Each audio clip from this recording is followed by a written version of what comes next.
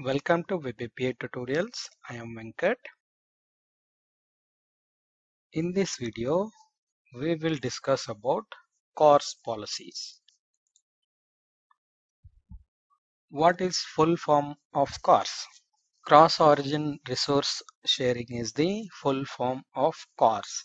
So when we need CORS policy, we need CORS policy when we want to share any resource from our domain to the other domains okay? When we are sharing the resources within our same domain we don't need to define any policies. That's what second point is saying. CORS is a W3 standard that allows a server to relax the same origin policy. That means when we are sharing the resources within the same domain or same origin we don't need to check any policies. So server will relax. It will not check for any policies. Okay, when it is a same origin policy. You might ask what is same origin policy? What is same origin first, right? We will see that in few minutes. And third point, CORS is not a security feature. CORS relaxes security. An API is not safer by allowing CORS. Okay, so we are discussing this CORS topic as part of Web API security. But here we are saying it is not a security feature, right? Yeah, that's true. What we are doing with CORS, we are defining some policies, whether to share the resources with other domain or not, right? So except that one particular check, we are not doing anything else, right? We are simply checking whether a particular resource can be shared with other domain or not. By doing that only single check, we can say our complete API is secure, right? So our, our API will be secured with so many features like authentication, authorization, and obviously basic check is a CORS like this. So only with the CORS we cannot say API is completely secured. That's what this point is saying. CORS is not a security feature because CORS relaxes the security. Relaxes the security is nothing but CORS will not initiate any security measures or security checks. CORS will only check for whether the resource can be shared with other domains or not. That's it okay by doing this single job the API is not secure. And next point here is CORS allows a server to explicitly allow some origins and reject others. When there are requests from other domains CORS policy will help server here explicitly so what origins to accept and what origins to reject. We will see that in detail in the next slide. Next point here is CORS is safer and more flexible than earlier techniques such as JSONP. So before CORS came into the market, people was using JSONP for this cross-origin security. And let us see what is same origin. When we are discussing about CORS, cross-origin resource sharing, we need to discuss about what is cross-origin, what is same origin, right? So let's see what is same origin first. You can see there are two web applications. One is a API application, second one is a Angular UI application. This Angular UI application is consuming these APIs. You can see these two are having same origin origin is nothing but origin is a combination of schema plus base URL plus the domain extension dot .com or dot .net plus the port. Okay? So combination of all these is nothing but a origin. Here you can see these two websites are having same origin.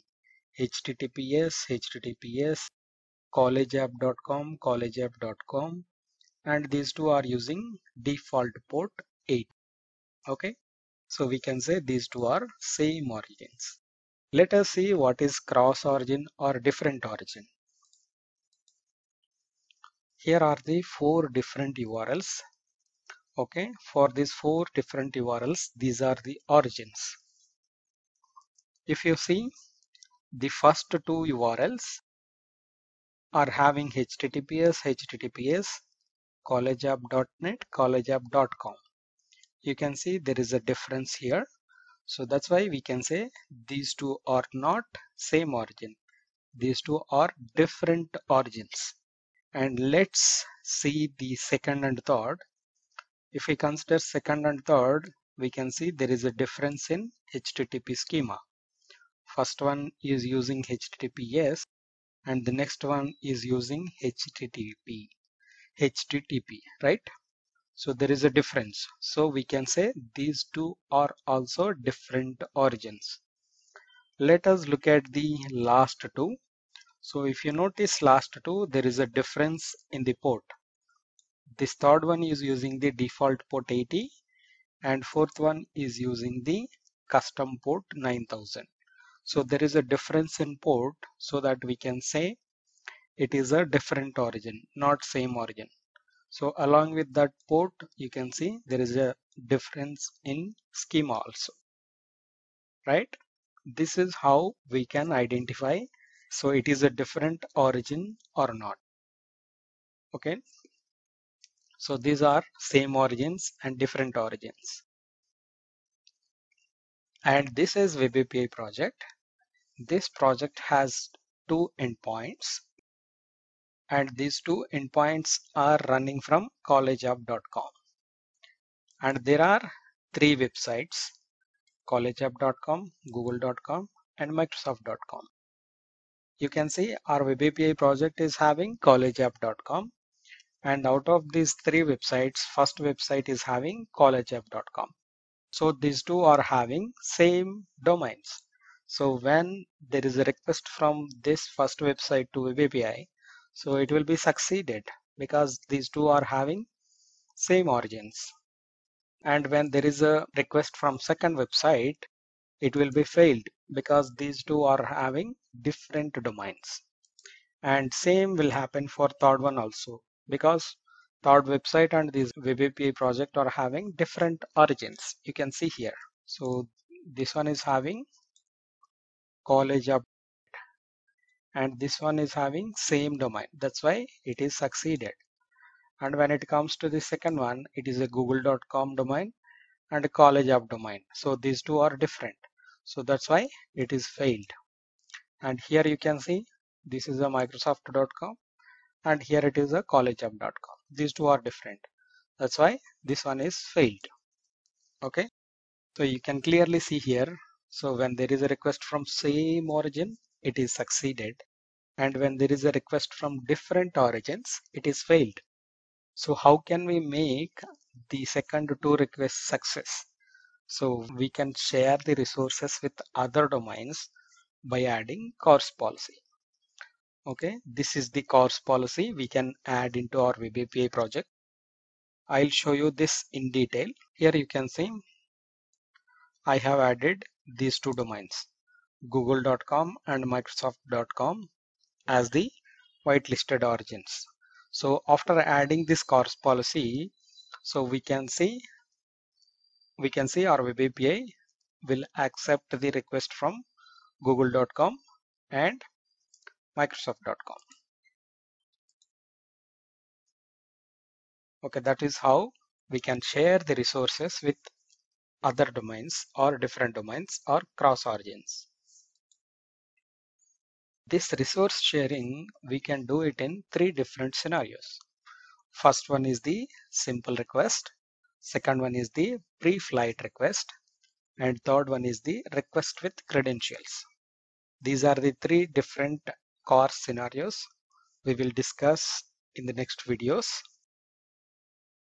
And when it comes to the enabling CORS in our Web API application, we can do that in three different ways. So enabling CORS in our Web API application, we can do it in three different ways. First one is using the middleware. And second one is using the endpoint routing. and third one is using enable CORS attribute. Most of the times people will use middleware to configure the CORS policies.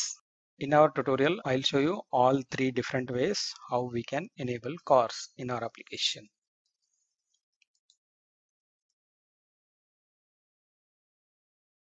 For more videos like this, please like, share and subscribe. If you have any questions, please ask in the comment box. Thank you for watching.